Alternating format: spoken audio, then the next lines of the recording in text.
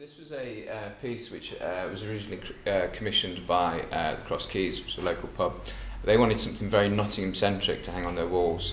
Um, they knew the work I did with the LeftLion. Uh, they asked me to do something that was very, very Nottingham. And we explored lots of different ideas about monkeys on choppers and things like that. And then uh, a very good friend of ours just came up, who was actually one of the chaps who was commissioning the piece, came up with this pun while he was out drinking one day um, about Byron Clough, which is a play on both Lord Byron and uh, Brian Clough, and seemed to encapsulate um, two iconic figures from Nottingham in one particular piece. So the piece itself, although it looks like an oil painting, is actually produced on a, um, a digital drawing tablet, Wacom. Uh, and uh, I painted very much in the style of that kind of um, classic Byron painting, um, which we all know and love.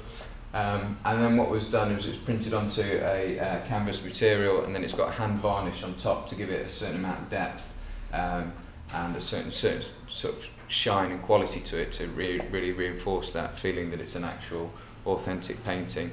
Um, there's only three in existence at the moment, um, but uh, each one is uh, individually signed and has an individual uh, sort of varnish finish to it, I guess.